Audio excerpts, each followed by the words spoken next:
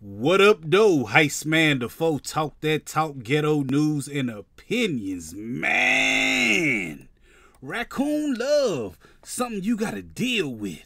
No matter how many gun bars you got, don't go to nobody else city talking about how they cook their food, man.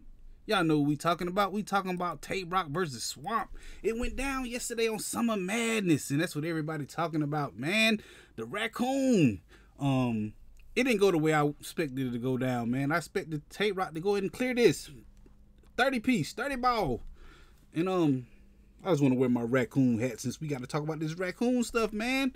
Um, it was going well for um Tay Roc first round, but he went to that second round and man, he started talking about raccoon. He dropped the raccoon ball, said something to something to something to something. I don't remember. I just know the crowd just turned on the man. They say, "Boo this man!" They got him up out of here, man. They started booing him.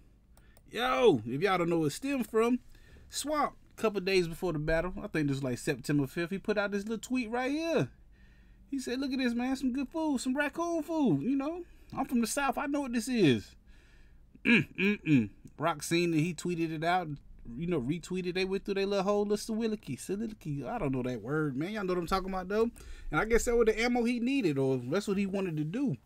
And um, Swamp was telling him during the face off, like, look, you're gonna have to stand on that, on that country stuff, man. He got up there smoking that cigarette on stage. Smack told nobody not to smoke. He up there. I ain't never seen nobody smoke a cigarette on stage.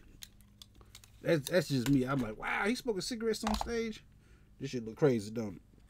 But yo, it's crazy. Um, I'm just saying, Tay Roc, y'all might have to get y'all a new member to the gun titles, man. Raccoon.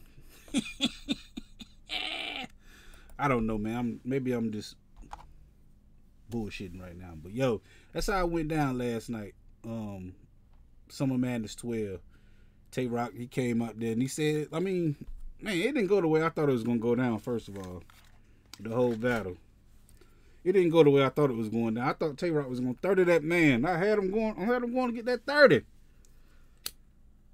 He said that raccoon bar, they just turned on him. They went crazy. They went wild. I mean, I think um Swamp won two one to me personally. I think he did win, but um yo, I don't really do no reviews and nothing like that, man. I just talk about a whole bunch of ghetto stuff, and a raccoon happens to be ghetto.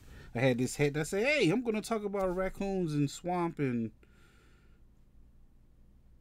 I hate this show.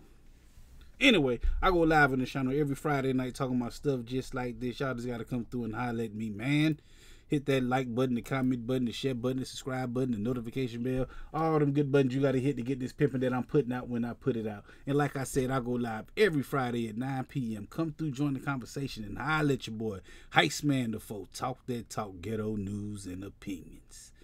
Peace. Hold on, let me see my raccoon hat one more time. I think I got this at Walmart. My wife got it for me at Walmart a couple years ago. I like to play around. Anyway, holla at your boy. Heist Man the Foe. Talk that talk, ghetto news and opinion.